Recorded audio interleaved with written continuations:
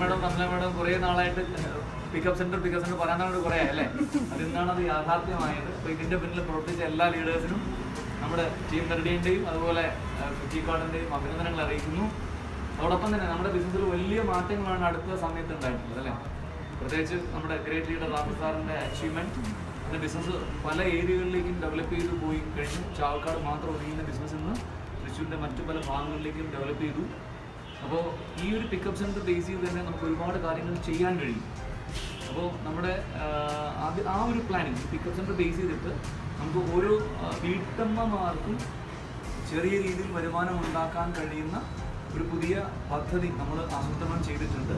അപ്പോൾ ആ പ്ലാൻ എന്താണെന്നും അതെങ്ങനെ നമുക്ക് ഇംപ്ലിമെന്റ് ചെയ്യാൻ പറ്റുമെന്നും നമ്മുടെ കൂടെയുള്ള എല്ലാ ആളുകളും അല്ലെങ്കിൽ സാധാരണ വീട്ടമ്മയ്ക്ക് എങ്ങനെ ഫ്ലിപ്കാർട്ടിന്റെ ഉൽപ്പന്നങ്ങൾ ഒരു വരുമാന മാർഗമാക്കി മാറ്റാൻ കഴിയും എന്നുള്ളതിനെ കുറിച്ചുള്ള വ്യക്തമായ ഒരു പ്ലാനിങ്ങും അതിന്റെ ഒരു ക്ലാസ്സും ഒക്കെ